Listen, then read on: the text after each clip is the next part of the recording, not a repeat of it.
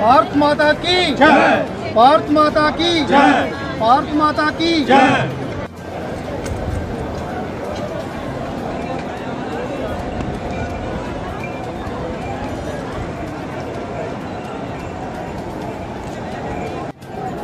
ਸਵਾਗਤ ਹੈ ਜੀ ਤੁਹਾਡਾ ਲਾਈਵ ਤਸਵੀਰਾਂ ਅਸੀਂ ਤੁਹਾਨੂੰ ਦਿਖਾ ਰਹੇ ਹਾਂ ਮੋਗਾ ਦੀ ਮੇਨ ਦਾਣਾ ਮੰਡੀ ਤੋਂ ਜਿੱਥੇ ਅੱਜ ਦੇਸ਼ ਆਜ਼ਾਦੀ ਦਾ 75ਵਾਂ ਵਰਾ ਪੂਰਾ ਕਰਨ ਜਾ ਰਿਹਾ ਉੱਥੇ ਪੂਰੇ ਦੇਸ਼ ਦੇ ਵਿੱਚ ਆਜ਼ਾਦੀ ਦਿਵਸ ਬੜੀ ਧੂਮਧਾਮ ਦੇ ਨਾਲ ਮਨਾਇਆ ਜਾ ਰਿਹਾ ਸਾਡੇ ਸਰ ਸਵਾਗਤ ਹੈ ਜੀ। ਕੀ ਸ਼ੁਭ ਨਾਮ ਹੈ ਜੀ ਤੁਹਾਡਾ?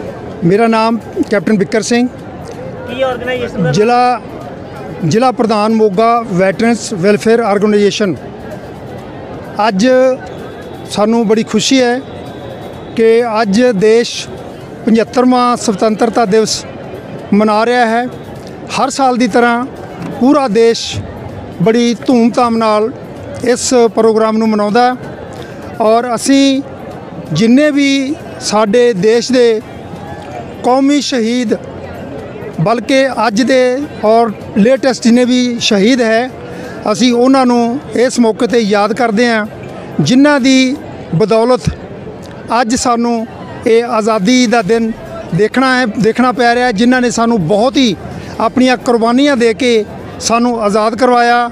ਅਦਰਵਾਈਜ਼ ਅਗਰ ਉਹਨਾਂ ਦੀਆਂ ਕੁਰਬਾਨੀਆਂ ਨਾ ਹੁੰਦੀਆਂ, ਤਾਂ ਅੱਜ ਅਸੀਂ ਉਸੇ ਤਰ੍ਹਾਂ ਹੀ ਹੋਰਲੇ ਬਾਹਰਲੇ ਦੇਸ਼ਾਂ ਦੇ ਗੁਲਾਮ ਰਹਿਣਾ ਸੀ ਤੇ ਅਸੀਂ ਉਹਨਾਂ ਦਾ ਬਹੁਤ ਬਹੁਤ ਧੰਨਵਾਦ ਕਰਦੇ ਹਾਂ ਔਰ ਜਿਨ੍ਹਾਂ ਨੇ ਕੁਰਬਾਨੀਆਂ ਦਿੱਤੀਆਂ, ਅਸੀਂ ਉਹਨਾਂ ਨੂੰ ਲਾਲ ਸਲਾਮ ਪ੍ਰਵਾਨ ਕਰਦੇ ਹਾਂ ਔਰ ਉਹਨਾਂ ਦੀ ਸ਼ਹਾਦਤ ਨੂੰ ਪ੍ਰਣਾਮ ਕਰਦੇ ਹਾਂ।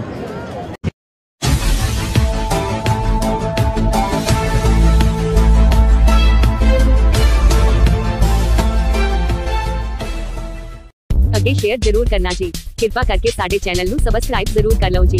ਧੰਨਵਾਦ।